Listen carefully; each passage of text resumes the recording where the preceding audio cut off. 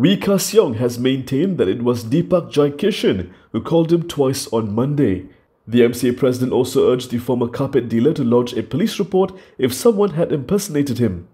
At a press conference held in Parliament this afternoon, we also furnish evidence in the form of screenshots of the caller ID to substantiate his claim. Untuk makluman, panggilan telefon tersebut dibuat pada jam 9.51 pagi selama 33 saat sebelum terputus.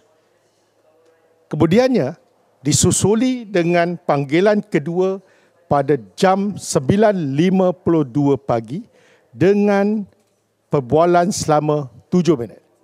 Inilah bukti yang saya ambil daripada uh, screenshot telefon bimbit saya.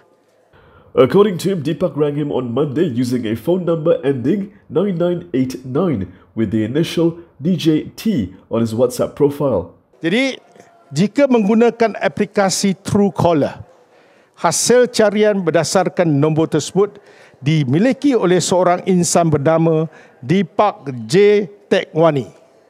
We added that the profile picture of the caller on WhatsApp also resembled Deepak Jaikishan.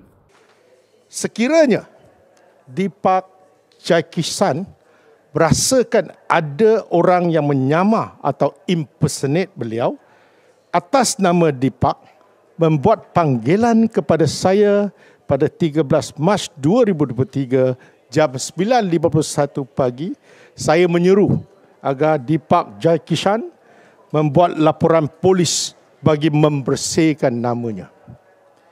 Saya bersedia bekerjasama dengan pihak polis diraja Malaysia PDRM dan akan mendedahkan segala bukti yang ada biarlah PDRM menyiasat perkara ini.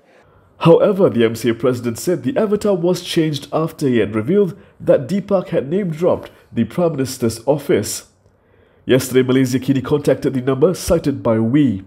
The owner of the number, however, claimed that he is not Deepak and addressed himself as Mr. Raja.